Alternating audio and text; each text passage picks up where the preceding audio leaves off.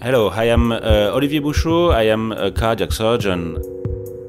I work in the uh, Bocage Central. This is the new hospital in Dijon. We treat patients for uh, cardiac and uh, uh, vascular disease.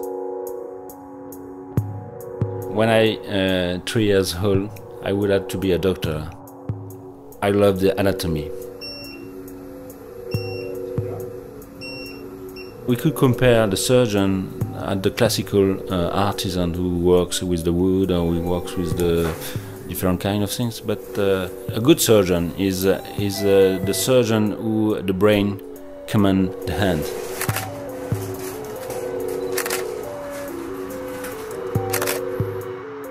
When you cut the skin and the, the other uh, the muscles, we have blood, and uh, to avoid to to have bleeding, we use uh, electric scalpel, and uh, with this uh, electric scalpel, we have a smoke and a smell.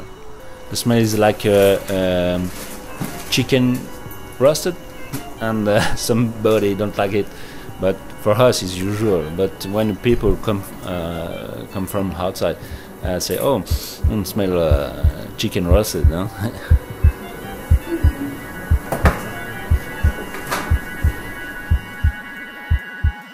we need to change the valve uh, because the valve is stenosis and uh, this is uh, hard work uh, for the heart.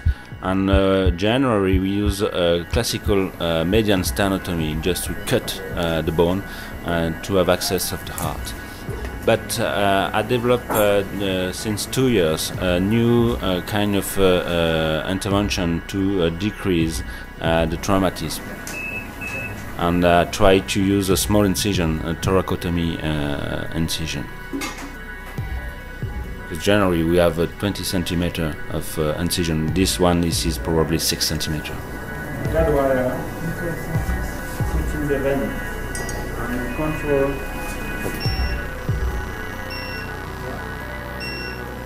the uh, surgeon alone is nothing. We need to have a lot of people to work with us, and this is a, a, a team, and uh, everybody have a, a very special uh, works in the operating uh, theater.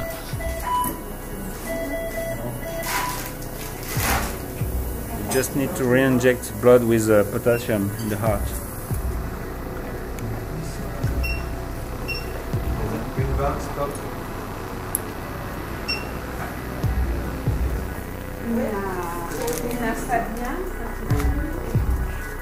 Success is when the patient come back two months after I'd say, "Okay, thank you, doctor. We changed my life. I could have no problem of dyspnea or something like that, no pain."